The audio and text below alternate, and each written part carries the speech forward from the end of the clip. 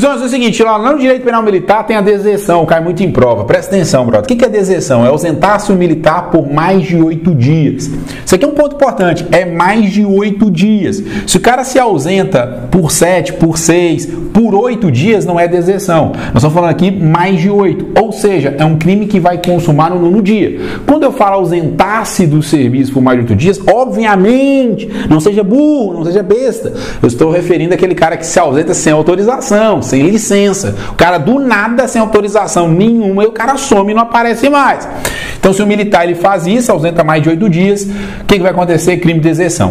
Tem uma hipótese, preste atenção. Temos uma única hipótese aqui que vai ser o crime de deserção, porém não precisa esperar mais de oito dias, que é a situação de exclu o cara cria ou simula incapacidade para exclusão do serviço ativo ou situação de inatividade. Então, se o cara simula ou cria uma situação de incapacidade para ir embora do serviço ativo, ir para inatividade ou para cria uma situação que de inatividade, cara, esse indivíduo cometeu o crime de deserção. Esse militar cometeu o crime de deserção. Lembrando que deserção é um crime propriamente militar, somente o militar pode cometer esse crime. E, brother, vai cair na sua prova. Se você gostou, comenta aqui, brother. Tá estudando para concurso, comenta aqui, tamo juntos. Simbora mudar de vida.